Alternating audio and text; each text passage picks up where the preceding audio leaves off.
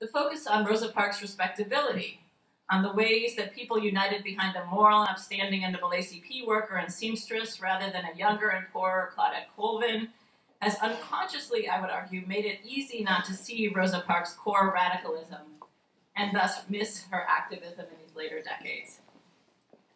Key to the success of the bus boycott in the midst of the Cold War had been obscuring Rosa Parks' actual political history. The construction of her respectability, of her being a good Christian woman and a tired seamstress, was pivotal to the success of the boycott because it helped deflect Cold War suspicions of this grassroots militancy. Immediately after Rosa Parks' arrest, rumors quickly arose within white segregationist circles that Parks was a communist plant, was an NAACP plant, but most of these people did not actually seem to know of Parks's work with the NAACP, with the Highlander Folk School. And so strategically, the success of Parks as a symbol of the boycott turned on activists like King, like the Black Press, and like Parks herself, obscuring her long-standing history and larger radicalism. Rosa Parks' long history of activism then would become a secret to keep the movement safe, and she and others would dissemble by calling her a simple seamstress. The paradox was this. Key to her decision to remain seated on the bus and to community outrage that erupted after her arrest was Rosa Parks' long history of political involvement. As Parks herself put it, the people of the community knew me and respected her long-standing commitment to racial justice and political work. They also knew that she would not flinch under the tremendous pressure, right, that would come upon anyone who dared to sort of take on this role.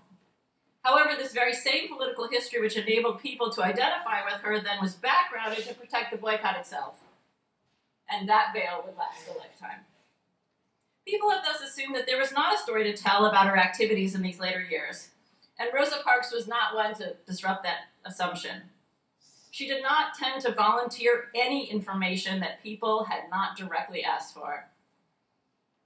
And interviewers almost never asked, preferring to talk about Montgomery and to return over and over to that evening on the bus, even as they sat with her in Detroit, right, decades later.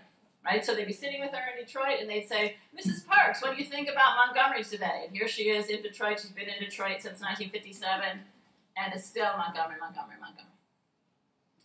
Congressman John Conyers, who Rosa Parks worked for for more than two decades, has attributed the omission of Parks's radicalism in part to the discongruity of it. She had a heavy progressive speak, he, he argued, that was uncharacteristic for a neat, religious, demure, church-going lady.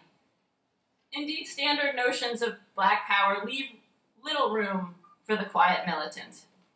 In the popular imagination, black militants are men. They do not speak softly. They do not go to church. They do not dress conservatively. They do not get nervous. They are not tender about people suffering. They do not work behind the scenes. And yet, many, many militants were exactly that. Generous and patient in her assessment of people, that did not mean that Rosa Parks was not angry at the depth of injustice and the extent of white resistance and white obfuscation to the civil rights movement.